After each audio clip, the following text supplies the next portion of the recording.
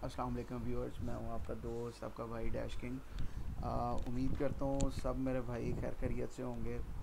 अच्छा भाई इस तरह से है कि आज मैं देख रहा था जी बी पी को तो मैंने कहा चलें आप सब भाइयों के साथ में शेयर करता चलूँ। वीडियो एक शॉर्ट सी वीडियो होगी हमारी, और इसकी नेक्स्ट मूव मैं आपको बताऊँगा जी बी पी की, ठीक है, जो आपको मंडे को काफ़ी हेल्पफुल साबित होगी। अच्छा इसमें देखते हैं जी एज फोर का टाइम फ्रेम है हमारे पास। हमने पहले देखा कि लास्ट जो है मूवमेंट इसकी क्या थी मार्केट की। पिछले दिनों से हम देख रहे थे मार्केट ने बैरिश मूव भी दी है अपनी, फिर उसके बाद बुलिस स्टार्ट हो गई, ठीक है? और जब ये आपको नज़र आ रहा है सेंडिंग चैनल शुरू हो गया तो फिर हमने मार्केट में आपको पता है कि हमने ट्रेंड के साथ जाना है। और अब भी अपना जो ट्रेंड शो कर रही है मार्केट वो अपना ट्रेंड बुलिश शो कर रही है, ठीक हो गया? तो यहाँ पे हमें ये जो इस टाइम सिचुएशन है ये देखिए कि भाइयों ये क्या बन रही है। यहाँ पे आप देख सकते हैं कि हमें इस वक्त यहाँ पे एक डॉजी कैंडल मिली। उसके बाद हमें ठीक ठाक एक वॉल्यूम वाली जो है बुलिश मूवमेंट हमें नज़र आई। ठीक हो गया? तो आ, इस इसको देखते हुए हम इसको एच वन पर भी शिफ्ट करके देख सकते हैं। जो डे ट्रेडर हैं उनके लिए मैं बात करूँगा। जो डे ट्रेडर हैं उसमें वो यहाँ से यहाँ तक की मूव ले सकते हैं। ठीक हो गया? यहाँ से यहाँ तक वो पिप्स गेन कर सकते हैं, बल्कि यहाँ तक एटलीस्ट ये इस उम्मीद है कि इस लेवल तक वो टच करेगी मार्केट और यहाँ से यहाँ तक अच्छे पिप्स जो हैं, वो गेन किए जा सकते हैं। ठीक हो गया? तो अब मैं ये समझता हूँ कि अगर हम इसका पूरा स्ट्रक्चर ड्रॉ कर लेते हैं, एक मिनट में आप भाइयों को सॉरी किधर चला गया यार, ये।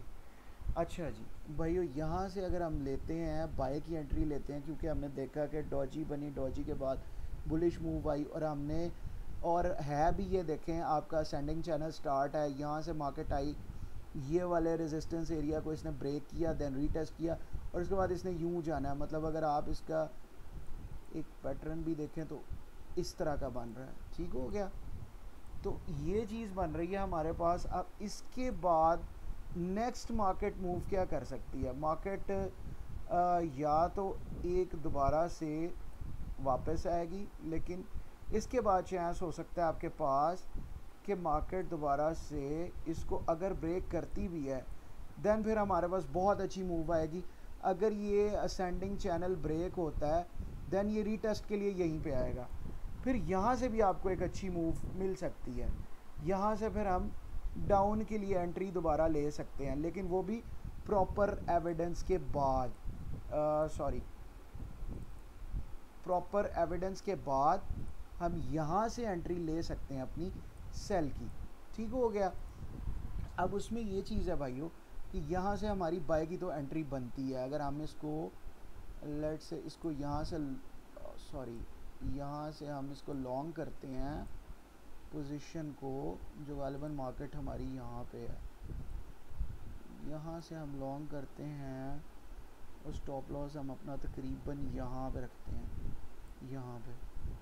और ये हमारी यहाँ तक की पोजीशन बनती है। ठीक हो गया भाइयों। ये हमारा 1.46 आ रही है। वन इस टू फोर सिक्स आ रही है। Ratio risk to reward ratio ठीक हो गया। इसमें थोड़ा सा हमारा एच फोर की वजह से अगर आप देखें तो स्टॉप लॉस हमारा थोड़ा सा ज़्यादा बन रहा है। ठीक हो गया। उसके लिए हम फिर आगे शिफ्ट करेंगे।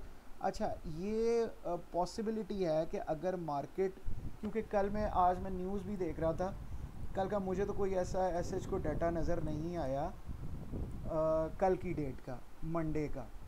तो मैं इसमें न्यूज़ भी देख रहा था आगे। मतलब इतनी कोई ख़ास कल न्यूज़ नहीं है तो ये हम इसके ऊपर ट्रेड कर सकते हैं। ठीक हो गया। अब ये इसमें दो दो केसेस हो सकते हैं भाइयों। अगर तो ये असेंडिंग चैनल इसी तरह से रहता है तो पॉसिबिलिटी है कि ये ये ऊपर वाले जो रेजिस्टेंस एरिया या रेजिस्टेंस जोन है, ये भी ब्रेक हो जाए। और अगर तो ये ब्रेक होता है तो देन फिर यहाँ पे री रीटेस्ट करता है। यहाँ के लिए भी फिर एंट्री देखी जा सकती है बाय के लिए जाया जा सकता है। ठीक हो गया। लेकिन ज़्यादा चांसेस यही होंगे कि जिस तरह का ये असेंडिंग चैनल बना हुआ है मार्केट इसके बीच में ही मूव करेगी। यहाँ से हो सकता है यूँ जाए मार्केट, यहाँ से नीचे आने की बजाय यहाँ से बनाए अपना इधर से फिर ब्रेक करे, फिर इधर आए, फिर इधर जाए और देन इस तरह। ठीक हो गया भाइयों, क्योंकि ये चीज़ समझ में भी आती है। उसकी रीज़न ये है कि अगर हम इसी चैनल को खींच के आगे तक ले जाएँ तो आप देखेंगे कि मार्केट इस चैनल के अंदर इस तरह से मूव कर सकती है। जैसे कि अभी मैं आपको एच वन में शिफ्ट करके दिखाता हूँ, अभी तो ये एच फोर का सारा आप टाइम फ्रेम देख रहे हैं सारे भाई, ठीक है? अब मैं इसको ना आपको एच वन में शिफ्ट करके दिखाता हूँ कि ये क्या बना हुआ है। ये देखें जी एच वन में भी आपको इसी तरह की चीज़ मिलेगी। ये देखें, ये पहले मार्केट नीचे आई डिसेंडिंग चैनल ये यहाँ से ब्रेक हुआ।